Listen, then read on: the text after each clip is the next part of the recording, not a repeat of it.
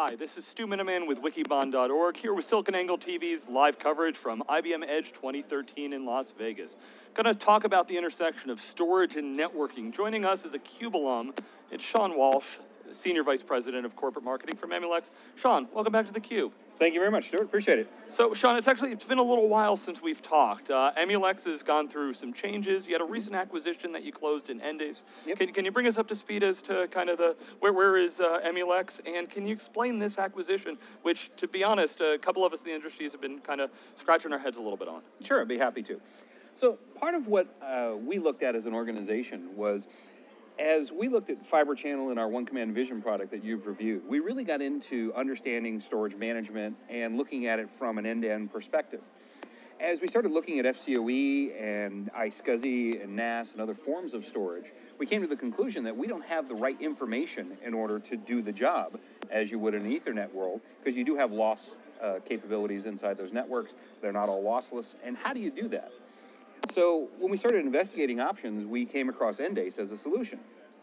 And when we looked at that, there was a great deal of similarity in how they approach the market.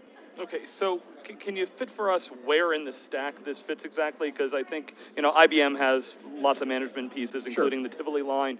Uh, the the switch guys all have their pieces there. Um, I, I'm having a little t- trouble trying to grasp where that sits in there. Sure. So it's actually an augment to that. So it kind of sits on the sidelines to the switches and the routers and the other traffic uh, management equipment. And this essentially records network traffic.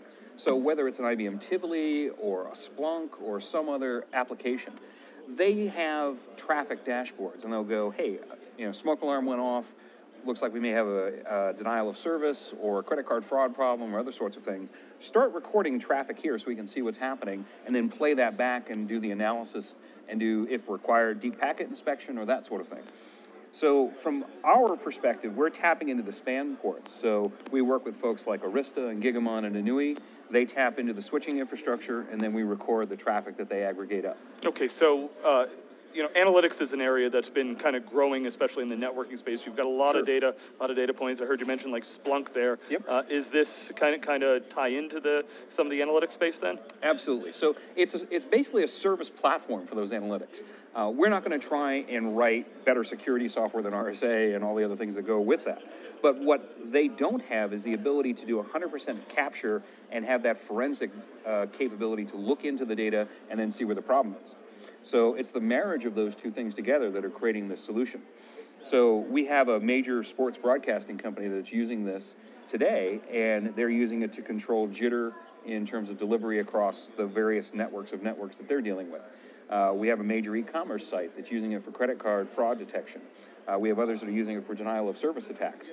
But in all of these cases, what's common is they have what they call death by dashboard. They have hundreds of dashboards telling them there's something wrong, but no ability to do root cause analysis, and we give them that Really, ability. an enterprise mindset has moved uh, into somebody that's working with a hyperscale. Can you share any kind Sure. of design wins you've got out there in, in those guys? Well, I can't share necessarily design wins, but I can talk about the uh, the nature of what we're doing. Uh, the irony is, is that many of these web giants are even more proprietary about which technology they're using than the classic OEM customers that we deal with.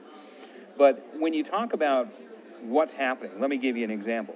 Uh, we did uh, a, a deployment that we're working on with a with a major web video company. And the front end registration, login, um, validation of user password, and all that other stuff is done on very low cost, um, one gigabit technology today. It hasn't even moved to 10. The back end, there's two components to the back end. One is the content delivery side, and the reason that they've picked our technology is the number of concurrent sessions that can be supported with this offload technology we have inside of our silicon. And then the second is the Hadoop big data sorting pieces of it. So in that mid tier of the cloud, uh, you're seeing the migration to 10 gig and low latency happening concurrently. You know, are customers, you know, still kicking and screaming and fighting and it's going to take them decades to move? You know, or, you know, are, are they starting to look and, and uh, adopt new technologies? So the short answer is, uh, I think the answer to that is no. Um, you know, I have this picture that I use. It's actually a, a, a meme I've created that has a picture of Charlton Heston holding up a shotgun, and it says, "You can have fiber channel when you pry it from my cold dead hands."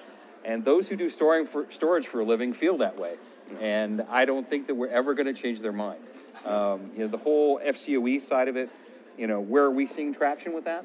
The service provider guys. So in those cases where you look at people like Terremark and Rackspace and these other guys, they may not own all the servers, but they own the networking infrastructure they plug into, and they want one back end. The telco guys have embraced that.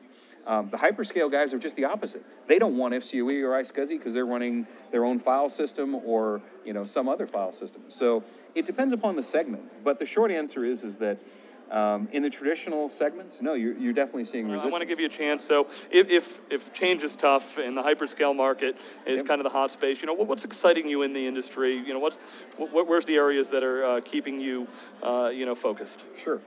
So, you know, I, I know it's trite to talk about cloud and big data, and, you know, I know that's the, the theme of the show, but quite honestly, those are the most interesting segments as we go forward. And the reason for that is the role of storage changes in these applications. It's not the same device drivers, it's not the same protocols, uh, it's a different go to market model. So, you know, just from a, from a pure corporate perspective, uh, it's, it's been a new challenge and a new opportunity for us, and it's leading us into markets that our new Endace acquisition uh, have the same sort of go-to-market model. And one of the interesting things is, you know, uh, we just finished a security show. Now you come here and you, you know, we do, we're doing our bike giveaway. We'll probably collect 5,000 names.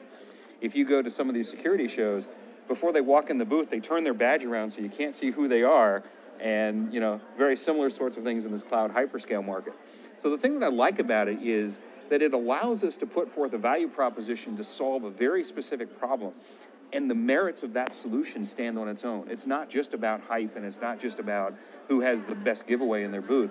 It's do the really smart people on the other end of the web browser look at what you put on your website or the papers that you're presenting and go, these guys have created incremental value in the market. And so far, we're seeing their response saying we are creating incremental value in the market. Okay, well, Shaun, we always try on theCUBE to bring the smartest people on, extract the signal from the noise, and I really appreciate you joining with us, talking about some of the, you know, hot and important technology trends that are going on in the industry. Uh, this is Stu Miniman with wikibon.org, uh, SiliconANGLE TV's live coverage from IBM Edge 2013 in Las Vegas. We'll return right after this brief break. Thank you.